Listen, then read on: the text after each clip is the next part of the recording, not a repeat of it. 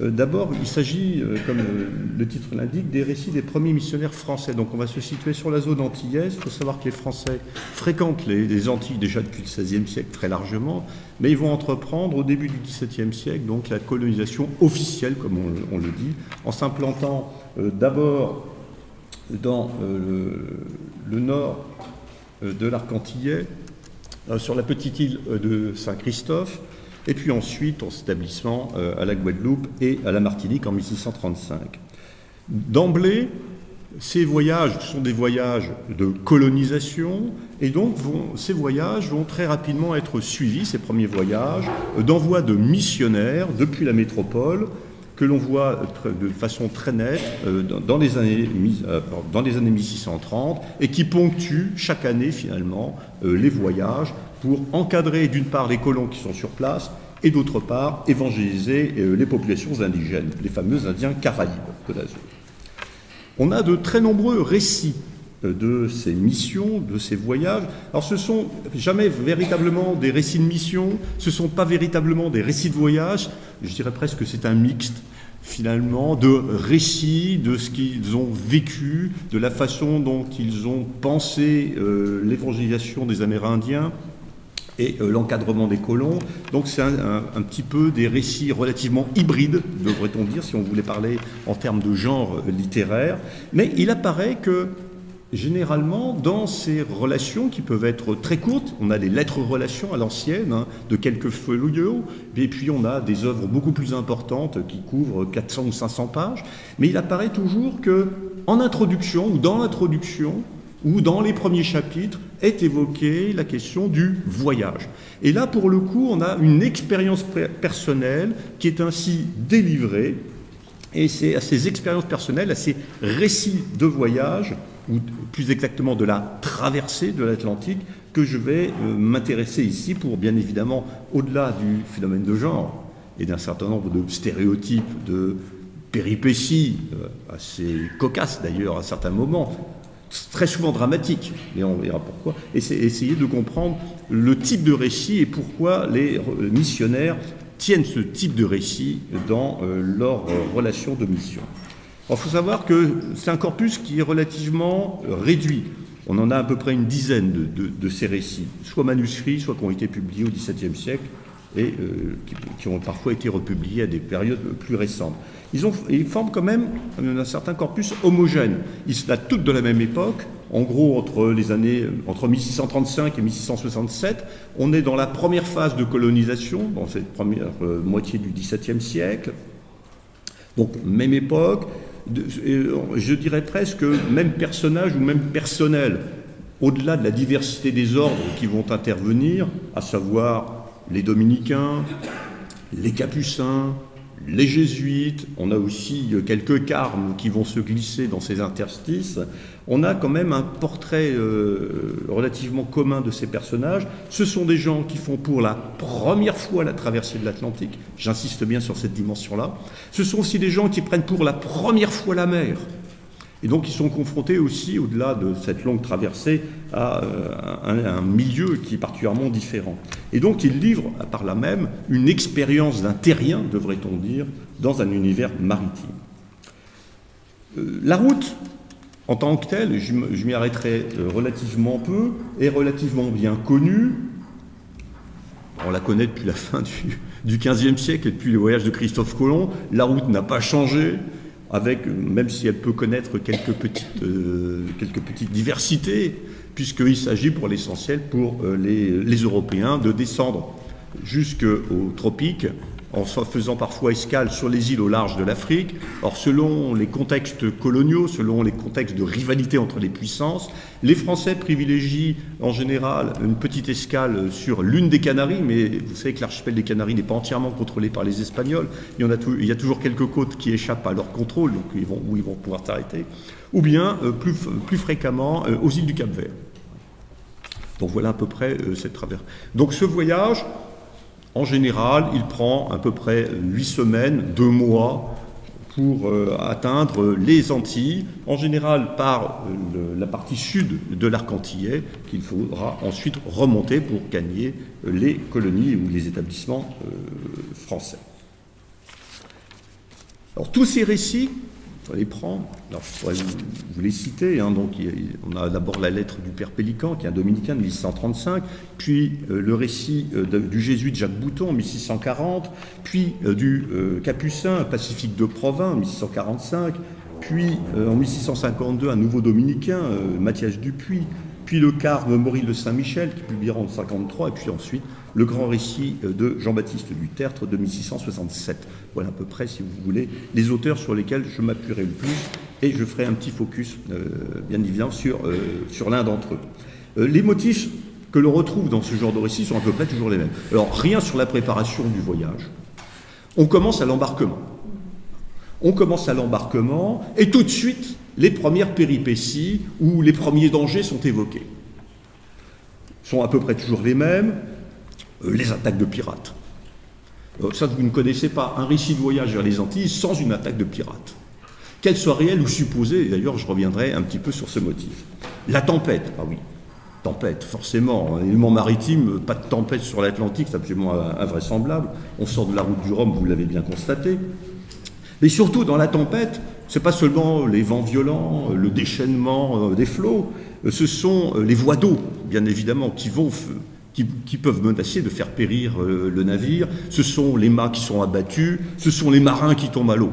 C'est surtout le côté dramatique de la tempête, plus que finalement le simple épisode, devrais-je dire, euh, presque climatique ou de navigation. Et donc on insiste bien dans tous ces récits sur les dangers finalement de la mer, les voies d'eau, c'est quelque chose euh, qui revient euh, systématiquement, et hein, qui montre bien finalement cette euh, forme de précarité hein, de, l'existence, bien évidemment, en, se représentant finalement cet océan comme le flot de la vie, et donc bien évidemment on est sur ce frêle esquif qui menace à tout moment de finir. Quelque chose, quelques éléments aussi qui peuvent être intéressants à signer dans ces récits d'une façon générale, euh, c'est une mise en contexte. Il y a un contexte aussi particulier qui appartient au XVIIe siècle. Nous avons des missionnaires euh, qui se situent véritablement dans, l'esprit euh, tridentin. Alors là, pour le coup, de la mission au lointain, certains même ont fait la mission en, Europe. Hein. Et donc, il y a un très fort sentiment anti-protestant. Alors ça, ça reparaît systématiquement, et je ne vous cacherai pas que dès que, bien évidemment, un navire est menacé, dès qu'on prend une mauvaise route, c'est la faute du capitaine qui est toujours protestant. On reviendra là aussi sur ce motif. Et donc on en a une très belle illustration euh, d'ailleurs dans un récit. Alors j'ai essayé de me focaliser finalement sur un de ces récits, peut-être pour vous donner plus de saveur. Alors j'ai choisi, c'est le récit du jésuite Jacques Bouton, euh, donc qui part euh, en novembre 1639 pour arriver en 1640 dans les îles. Alors je l'ai choisi, alors non pas parce qu'il part de Nantes, et alors là ça aurait été trop facile de flatter l'auditoire, euh, mais surtout parce que, dans ce récit qui est très court, qui est très énergique, je dirais nerveux, très vivant, très long, donc euh, il, a, a, un vrai style, si vous voulez, pour accrocher le lecteur. En même temps, on voit dans ce récit toutes les péripéties qui peuvent se produire durant un voyage. On a un condensé, on dirait presque une compilation, hein, ce qui pose d'ailleurs la question euh, du vécu de, réel pour le coup, euh, de, ce type de voyage et de l'écriture. Car il se trouve que c'est un récit qui a aussitôt été publié. Et donc, bien évidemment, quand un récit est aussitôt publié, il y a une intention, bien évidemment, de plaire à un auditoire ou de flatter un auditoire, dans le bon sens du terme. Ne prenons pas toujours la flatterie dans, son mauvais sens, mais bien évidemment, on, peut, s'interroger euh, ici. Alors, revenons un petit peu peut-être sur ce voyage de Jacques Bouton. Euh, qui est euh, assez, euh, assez terrible. Donc il part, donc c'est un enseignant, donc il part donc en 1639, il a 49 ans, donc un homme d'expérience, mûr. C'est un enseignant, donc forcément quelqu'un de bonne compagnie. il a enseigné au collège de la Flèche, puis ensuite au collège de Clermont à Paris. Donc il appartient à une forme d'élite. Ce qu'il faut comprendre, c'est qu'il ne part pas en tant que missionnaire véritablement, euh, c'est le premier jésuite euh, qui arrive euh, aux Antilles, donc en l'occurrence il arrive à la Martinique, et il va pour explorer les possibilités, je vais dire les possibilités d'une île pour, parodier un célèbre ouvrage, mais, pour voir la possibilité de développer une mission auprès des Amérindiens, donc à la Martinique. Donc c'est plus une mission d'exploration que véritablement un, voyage de mission en tant que tel. D'ailleurs, il ne restera que quelques mois, peut-être deux ou trois mois maximum, euh, à la Martinique. Donc il part avec deux autres jésuites et quelques capucins qui, eux, vont véritablement faire, faire la mission. Donc il part le 25 novembre 1639 et, j'allais dire, tout de suite se pose un certain nombre de problèmes. Euh, se pose un certain nombre de problèmes. Euh, son voyage, à peine, euh, le, navire, à peine après avoir quitté Nantes, est obligé de relâcher à La Rochelle.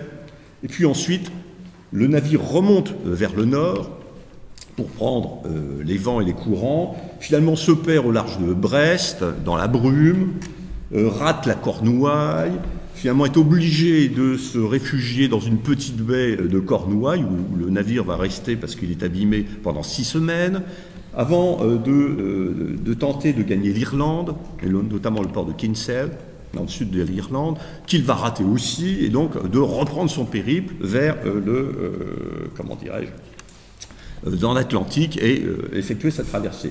Donc déjà, cette aventure européenne, je dirais presque, c'est déjà trois mois de navigation. Donc vous voyez que déjà le voyage est particulièrement mal engagé. Et on pourra, euh, bien évidemment, dans, le récit, euh, s'interroger sur ça.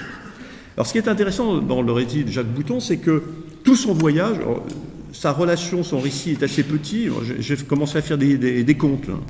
Soyons précis. 141 pages publiées, bon c'est un petit format, c'est écrit gros, c'est bien, on n'a pas besoin de lunettes. Euh, sur ces 141 pages, il y en a quand même 27 qui sont consacrés au voyage. Donc ça fait 19,1% de, la chronique, si vous voulez, qu'on consacre à ce voyage. Donc ça veut dire qu'il a une place particulièrement importante. Et, donc, et les péripéties, bien évidemment, euh, d'autant plus. Et de développer systématiquement euh, tous les dangers qui peuvent se présenter. Alors j'ai insisté sur ces premières difficultés qui montrent l'engagement euh, de ce voyage.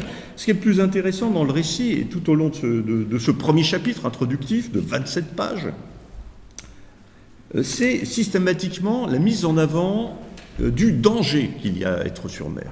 Et on le retrouve systématiquement, au risque de se répéter. À la page 3, nous courûmes presque continuellement risque de la vie pendant plus de cinq semaines, en plein temps avec cette théâtralisation, si vous voulez, dans, le récit. Euh, à, la, page 4, rapportant euh, le passage euh, du, 31 décembre, c'est le, 31 décembre est le dernier jour de l'année, mais il fut le plus rude, toujours dans la crainte d'être jeté contre la terre. Allons-y. Euh, plus, plus, loin, ayant passé euh, le mois de janvier, le jour des rois, le, euh, le matin du jour des rois, dit-il un peu plus loin, un coup de mer nous mit au désespoir de nos vies. on n'hésite pas, vous voyez, les ficelles sont grosses, mais l'intention est bien là, il s'agit de capter l'attention du lecteur dans un récit qui est forcément dramatique. On mêle un petit peu de religion de temps en temps, bien évidemment toujours dans le désespoir, donc je reprends euh, la suite de la première citation précédente que je vous donnais. Donc le matin du jour des rois, un coup de mer nous mit tous au désespoir de nos vies et plusieurs en meilleur état de leur conscience par la confession. Vous voyez, la religion s'invite, bien évidemment, non pas parce qu'il est missionnaire, mais parce qu'aussi on est dans un univers qui est profondément chrétien, et euh, les intentions des marins et euh, lors des voyages en mer est toujours particulièrement importante. La tempête, alors les tempêtes sont toujours redoutables. Il n'y a, pas, a jamais un petit grain, si vous voulez, ça, ça n'existe pas. La tempête est forcément dramatique, elle, jette forcément les navires contre, euh, contre les côtes. Il faut savoir qu'au moins euh, dans euh, une grande partie de la traversée, il faut bien comprendre que les navires sont souvent proches de la côte. Vous le voyez sur ce parcours, bien évidemment européen. On pourrait continuer, voilà le, détail, si vous voulez, de ce parcours européen. Mais euh, vous voyez par la suite, c'est à peu près la même chose, puisqu'il s'agit de longer le littoral de la péninsule ibérique, puis ensuite, bon, on, s'écarte un petit peu parce qu'on essaye de toucher Madère, mais pas forcément. Et quand on ne veut pas toucher Madère, eh on descend beaucoup plus au sud, le long des côtes de l'Afrique. On est toujours finalement relativement proche d'une côte. Et donc c'est là que euh, les vents sont toujours furieux. Alors, et je, vous cite l'une de ces tempêtes décrites il y en a eu tellement des tempêtes que j'en ai pris une au hasard, vous pensez bien. L'une de ces tempêtes, donc alors qu'ils sont au large de l'Angleterre, donc canal Bristol, le soir, un furieux, bah oui, le vent est forcément furieux là aussi, hein. un furieux vent du nord nous attaque avec une telle violence qu'on croyait bien évidemment en perdre la vie. On n'hésite pas là. Alors en fait, ce qui est intéressant, c'est que, et là on voit bien que notre bon jésuite ne connaît pas grand-chose à la navigation, puisqu'il se plaint toujours de l'inconstance des vents. Ah il se plaint de l'inconstance des vents, comme on pourrait se plaindre euh, toujours de la météorologie finalement. Et il explique bien évidemment cette inconstance qui pèse bien évidemment euh, sur, euh, sur le trajet.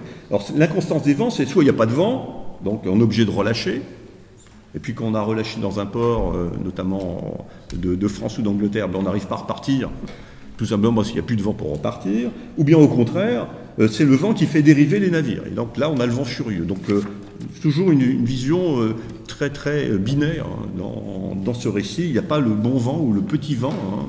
Non, jamais. Il est soit dramatique, soit il n'y en a pas du tout. Donc euh, vous voyez que la navigation expliquée par notre jésuite est toujours assez particulière.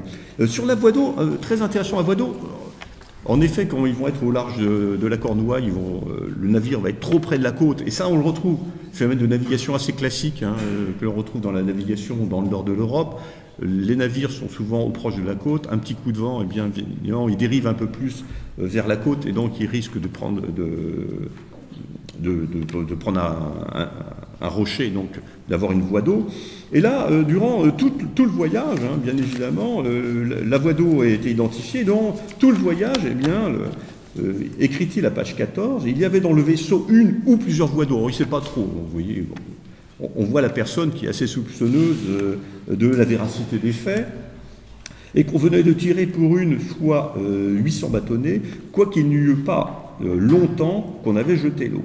Voilà, l'alarme bien chaude au quartier. On prend résolution de relâcher. Ben oui, il y a la voie d'eau, il faut relâcher tout simplement pour réparer. Mais bien évidemment, euh, on n'arrive pas à identifier le lieu où on va relâcher, donc le navire est obligé de continuer. Et donc ils vont ainsi euh, pomper, comme euh, j'allais dire comme de célèbres personnages de la télévision de l'ancien monde, puisque nous sommes passés, nous, au Nouveau Monde, et d'ailleurs nous y allons au Nouveau Monde, euh, en faisant cette traversée vers, euh, vers, les Antilles, ils vont être obligés d'écoper durant tout le voyage, et euh, marins comme passagers, puisque c'est un relativement gros bateau, de jour et de nuit, et donc ils nous racontent cette survie finalement qui n'est assurée que par cette solidarité, parce qu'il s'agit bien de ça, de toutes les personnes qui sont ainsi euh. Alors il y aurait bien une solution, c'est de, bien évidemment de faire escale, mais on apprendra par la suite dans le récit, et ça c'est pas euh, inintéressant en tout cas pour les gens qui travaillent sur, les voyages, que le capitaine ne voudra pas faire escale, de peur que euh, les marins, une fois arrivés à l'escale, finalement ne quittent le navire et qu'on puisse plus repartir tout simplement s'il n'y avait plus assez d'équipage. Et ça c'est toujours une... on présente toujours les escales comme nécessaires, en effet les escales sont nécessaires, non pas, tellement pour refaire en eau, mais surtout en bois, parce que les navires sont toujours un petit peu abîmés. Mais la grande crainte, c'est que les marins, bien évidemment, une fois qu'on a touché euh, un port, euh, ne s'égayent dans la nature et qu'on ne puisse pas euh, repartir. Et donc ainsi, ce navire, et je crois que c'est l'un des rares exemples que j'ai vus, finalement, une fois qu'il a quitté l'Europe, ne fera absolument aucune escale jusqu'à ce qu'il arrive à la Barbade. Donc on a un parcours qui est particulièrement long. Et d'ailleurs, il sera très long puisque le navire, euh, le voyage durera presque six mois. Alors là aussi, on n'a pas trop toutes les, dates. Les pirates, alors c'est un grand épisode. Il faut être attaqué aussi. Il y a les attaques des éléments, si on, si dire, il y a le vent. On ne part jamais de courant. On voit bien qu'on a des gens qui ne connaissent absolument rien du tout à la navigation, d'ailleurs ce n'est pas, pas tellement leur propos, mais les attaques de pirates. Alors, double, il y a deux attaques qui sont mentionnées dans le récit, c'est pour ça que c'est vraiment un condensé, euh, une, vraie compilation. Première, première attaque, euh, c'est une attaque de corsaires, plus exactement, euh, de corsaires dunkerquois. On est encore dans une. Bon, Dunkerque, bien évidemment, est sous souveraineté espagnole, sur les Pays-Bas espagnols. On est en 1639. Enfin, d'abord, on est, on est, déjà passé en 1640, puisque le voyage se situe à sur, les deux années. Euh, on est en pleine guerre de 30 ans contre l'Espagne, donc les Dunkerquois écument la Manche notamment, et une, petite partie aussi de l'Atlantique pour arraisonner, pour, intervenir sur les bateaux français qui pourraient quitter les ports. on sait que c'est un Dunkerquois et donc on, ne sait pas bien si notre bon jésuite a vu le navire véritablement. On sait qu'il est dans la Manche et qu'il poursuit euh, le navire sur lequel il, est exactement, mais il nous donne un luxe de détails sur ce navire qui est certainement assez loin derrière. On ne sait pas s'il y a une lunette pour pouvoir l'observer, puisqu'il identifie, il compte 120 hommes à port de ce navire Dunkerquois, et il compte aussi 20 canons. Bon, allons-y. Pour les canons encore, on connaît les gabarits des navires, on, va pouvoir y arriver. Mais il arrive à même nommer les hommes. Donc c'est plutôt intéressant. Là, on voit qu'il y a une volonté de donner de l'information, mais en même temps, cette information, elle est, comme souvent, à mettre en, euh, comment dirais-je, en, il faut, essayer de la, vérifier et voir ce qu'elle peut exactement signifier. Bon, bien évidemment, euh, Bouton, euh, enfin les gens qui sont sur le, navire français réussiront à lui échapper, mais durant tout leur périple finalement dans l'Europe que je vous ai montré tout à l'heure, ils vont essayer de, fuir ce, navire dunkerquois qui est toujours après. Euh, deuxième cas, alors ça c'est une réalité si vous voulez. pour le coup, même si le récit est un petit peu exalté et un petit peu accentué, c'est une réalité. On en a bien évidemment constat, la réalité dans la documentation, puisque nous disposons pour toute cette période euh, euh, du registre des prises qui ont été faites par les Dunkerquois, qui ont été tenues donc, par le commissaire de marine de l'amirauté de Dunkerque euh, à cette époque-là, un Jean Péninck, et donc on peut constater en effet tous les navires qui ont pu être interceptés. Et on voit que bon nombre de navires français, en effet, allant aux Antilles ou revenant des Antilles, ont pu être interceptés par des corsaires dunkerquois. Bon, il n'y a pas que les Dunkerquois, il y a aussi les Ostendais hein, qui, euh, qui agissent, mais, quoi que de façon moins importante. Euh, le, danger, si vous voulez, n'est pas que dans euh, n'est pas que dans la Manche, puisque au large des côtes de l'Afrique, les navires peuvent croiser la, la, route de navires dits turcs, c'est-à-dire de, des principautés il est des États sur la côte d'Afrique du Nord, principalement Alger et Salé au Maroc, qui envoient des navires pour intercepter euh, les convois européens. donc là aussi, et grand épisode, cinq voiles turques euh, qui menacent, ils sont alors au large de Madère, euh, qui menacent de les intercepter là aussi quelque chose d'assez récurrent et, réel, puisqu'on on peut retrouver en effet un certain nombre de navires allant vers les Antilles qui ont été interceptés en effet par des, euh, corsaires d'Alger, et, d'ailleurs euh, les personnels ont été rachetés. Hein. Et donc on peut, le vérifier auprès des registres des Trinitaires notamment. Finalement, une grande partie de, tous ces problèmes, dirais-je, c'est un problème de navigation.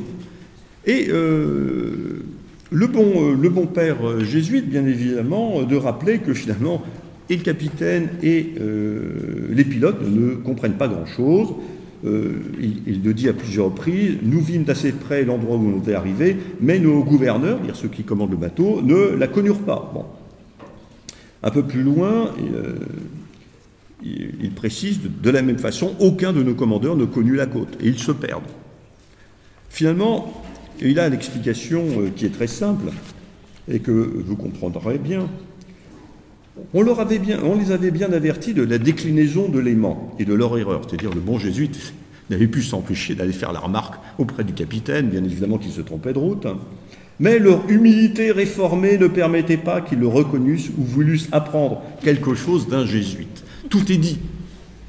Euh, l'ambiance à bord, ça devait être quelque chose aussi. Hein.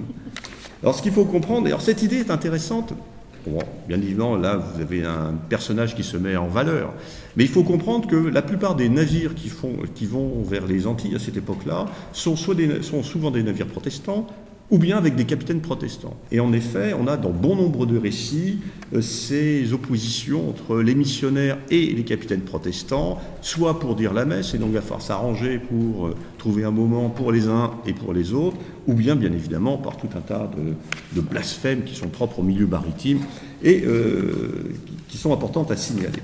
Alors pour essayer de pourrait continuer comme ça pendant des heures, vous comprenez bien. Mais pour essayer de, de, requalifier euh, les choses, en revanche, dans le récit de Jacques Bouton, il y a d'autres. La traversée n'est pas du tout évoquée. C'est-à-dire qu'en gros, à partir du moment où on est au large des Canaries, hop, après, on n'a plus rien. Alors il n'y a plus rien parce que c'est moins intéressant, il y a moins de péripéties, il n'y a pas d'escale, et c'est un petit peu générique hein, dans, ces, euh, dans ces récits de voyage que finalement ce qui intéresse c'est surtout la première partie du voyage qui est racontée, le suite, la suite est peu racontée, sinon pour évoquer des, des épisodes vraiment, je dirais presque pour, euh, pour agrémenter la suite du récit, mais qui n'apporte pas grand-chose. On évoque les poissons volants, euh, la pêche d'un requin, vous voyez des, choses qui ne sont pas très intéressantes, qui sont vraiment euh, très anecdotiques. Autre chose intéressante dans le récit de Breton, c'est un souci des équipages et il tient presque une comptabilité des morts en mer. Bon, on sait que euh, c'est quand même un thème, bien évidemment, qui apparaît très souvent dans, ces récits. Mais ici, on a vraiment la comptabilité. Euh, le marin d'encre qui est tombé euh, dans l'eau à l'île de Ré, le charpentier qui s'est noyé dans la Loire, un marin qui est tombé lors d'une mauvaise manœuvre, donc qui accentue toujours l'idée du danger hein, et de la mise en danger de sa propre vie c'est la vie des marins, mais ça pourrait être les autres. Tandis que euh, la maladie est quelque chose qui est euh, assez générique. Alors finalement, pour en arriver à essayer de conclure et essayer de, donner une ligne, finalement ces récits, que, nous apportent-ils? Ou ce récit, mais il n'est jamais que l'illustration. En fait, il nous apporte d'abord euh, la vision de l'univers maritime par quelqu'un qui n'a jamais pris la mer. Donc c'est la vision du terrien sur le monde maritime. Euh, repérant euh, finalement ce qui fait peut-être l'originalité à ses yeux du monde maritime, qu'il ne comprend pas en général. Avec des motifs, comme je vous l'ai montré, qui sont récurrents, qui appartiennent à tous les récits de voyage, qui posent la question, j'insiste bien là-dessus, de la véracité de tous ces événements.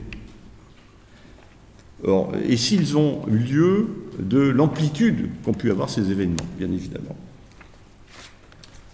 Euh, ce qui peut être plus intéressant ici, c'est que finalement, quand on regarde bien dans le détail, euh, les péripéties se passent souvent au large euh, des côtes et principalement en Europe. Cela permet finalement d'exalter hein, de, cette façon-là le zèle missionnaire. Le missionnaire, c'est quelqu'un qui s'expose au danger. Ça, c'est sa première chose. Et sinon, il veut mettre en avant sa force de caractère non pas de sa force physique, car ils sont relativement atteints, ils sont souvent malades, voire malades comme des chiens, comme ils le disent eux-mêmes dans, euh, euh, dans leur récit. Mais c'est un moment qui leur est imposé par Dieu. Et donc on retrouve ce motif d'une façon très importante. La mer, c'est ce qui va éprouver finalement le missionnaire. Et donc, euh, notamment dans le carme euh, Marie de, euh, Maurice de Saint-Michel, c'est quelque chose qui est particulièrement présent, puisqu'il dit que c'est ainsi que Satan veut ôter aux missionnaires qui vont combattre l'infidélité l'œil droit de leur intention, avec lequel il conquiert les âmes et blesse d'amour le cœur de Dieu. Quelle folie plus grande que de s'exposer à tant de dangers sans avoir une bonne fin, sans laquelle nos peines sont inutiles et avec lesquelles elles méritent des couronnes éternelles. Donc ce motif est particulièrement important, on le retrouve systématiquement. La mer, c'est cette épreuve de Dieu, et donc finalement, ça appelle dans les récits à montrer comment les missionnaires, finalement, traversent cette épreuve pour finalement accomplir ensuite leur mission. Et ce voyage en mer, c'est le préambule, finalement, du travail missionnaire qu'ils vont accomplir euh, par la suite.